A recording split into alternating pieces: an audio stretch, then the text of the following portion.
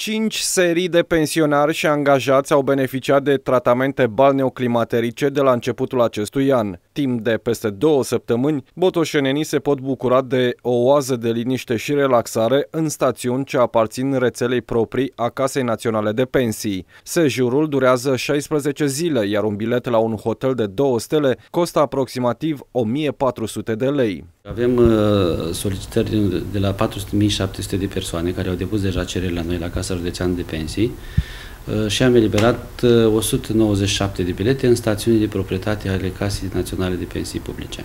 Bătrânii, dar cu o dorință nestăvilită de a-și trăi viața, unii botoșeneni nu renunță la călătorii nici dacă au peste 90 de ani. Avem și cazuri deosebite, avem persoane de 80, 85 și avem chiar și de peste 90 de ani care merg, două sau trei persoane sigur sunt care încă merg în stațiuni la 92 de ani. Oferirea acestor bilete de tratament este văzută de pensionari ca o a doua șansă de a-și revigora organismul. De aceea, mulți așteaptă cu nerăbdare momentul plecării în scurta vacanță.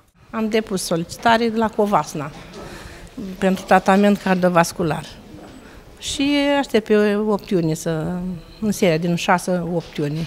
Prima dată când v-ați depus sau? Nu, nu, am mai mers. Și cum a fost? Foarte bun, cazarea este bună, masa este foarte bună, condițiile sunt optime. Pentru oameni care suferă de anumite boli, mulțumesc lui Dumnezeu, deocamdată nu simt nevoia. Dar v-ar plăcea să mergeți într-o stațiune? Aș vrea, dar... Unde? La munte.